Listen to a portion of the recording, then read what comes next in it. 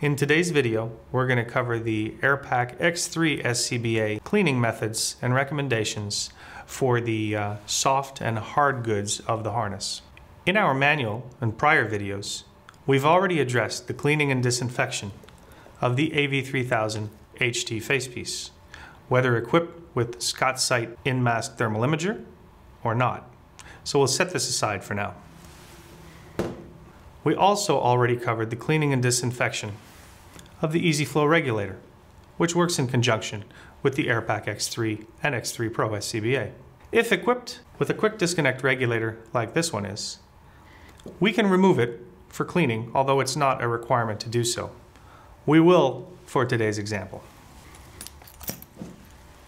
While the Air-Pak X3 SCBA shoulder harness, waist pad, and EBSS pouch are removable, technician certification is required in order to do so. We will discuss the cleaning of light soil and dirt today.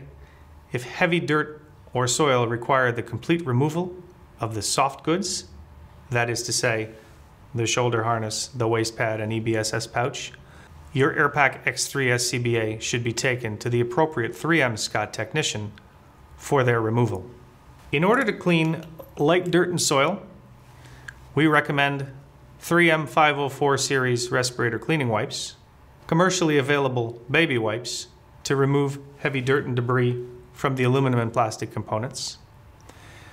Should spot cleaning be required of the shoulder harness, waist pad, and EBSS pouch, a mild detergent along with warm water can be used using a soft bristle brush or sponge to scrub stains or spots out of the soft goods. It is not recommended that water spray be applied when the SCBA is not under pressure, as you see here. As always, when in doubt, consult your Air-Pak X3 SCBA manual, consult our website at www.3mscott.com, or reach out to us for more information.